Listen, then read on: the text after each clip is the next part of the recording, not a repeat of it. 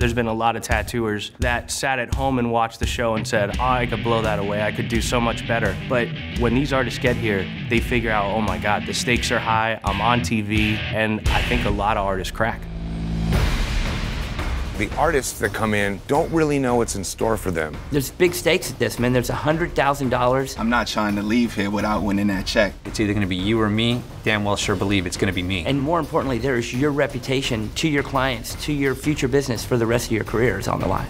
If they come out here and look like shit, they're gonna look like shit forever. If you don't have the sensibilities to pick up those flaws, then maybe this isn't the game. But if they come out and have a great showing and they become a fan favorite, look at last year, Tatu Baby. She came in fourth, but she finished number one, and she's back for another round.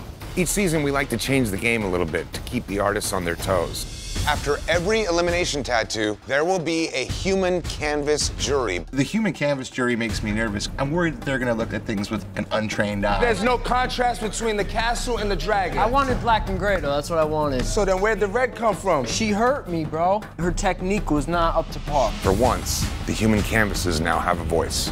When I walk in and I get a tattoo, if the artist is nervous, you wanted what you want. We got that. That's handled because I spent time. I've never had a client do this to me before. When all is said and done, I'm the one that walks out of here with it on my skin. You know, unless you're sharing a hundred grand. I would love to kick him out right now and say, I'm sorry, but you don't get a tattoo today. I know what's good and what's bad, and when you're judging, it's a lot like being a fine art curator. This is not a sound tattoo in any way. There's not one clean bit of outline anywhere. For a lot of reasons, this tattoo is just a beatdown for me, man. A beatdown.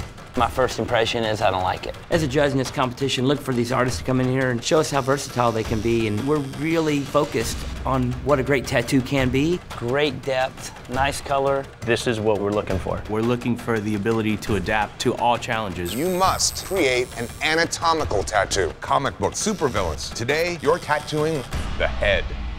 You're serious. This is something that you create from within. When somebody challenges that, it's not just did you win or lose the game. This is this is yourself. Art and competition, it all equals an all-out battle for these guys to get to the finale. An all-new season of Ink Master starts Tuesday, July 16th at 10 on Spike.